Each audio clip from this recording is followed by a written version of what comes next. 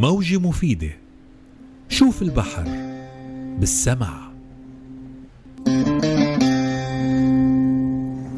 تحت الأمواج تثبت مروج أعشاب البحر القاع الرملي وتلتقط طاقة الشمس فتؤمن الطعام والملاذ للمخلوقات التي تعيش بين أوراقها. تفسح المروج المجال أمام مجموعات من المرجان التي تبدو كعلب طلاء حية. لكن الألوان النابضة بالحياة هي مجرد وجه من أوجه التكيف التي طورتها الكائنات القاطنة في الشعاب لمساعدتها على البقاء على قيد الحياة. لبعضها حاجات معينة لا تعثر عليها إلا في أماكن محددة من الشعاب. يوجد أكثر من ألف نوع من شقائق النعمان في العالم لكن عشرة منها فقط تستضيف الأصناف الثلاثين للسمك المهرج.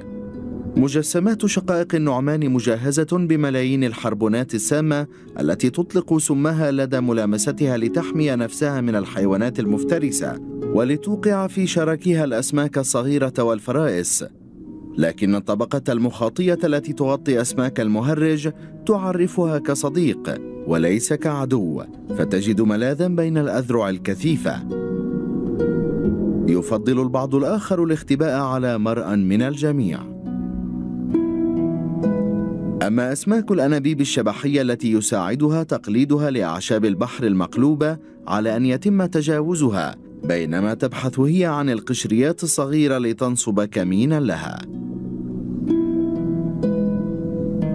حتى الأسماك الكبيرة مثل سمك المهرج ذي الشفاه الغليظة يوجد من يفترسها وقليل من قاطني الشعاب يستطيعون الابتعاد عن هذا الغطاء الحامي.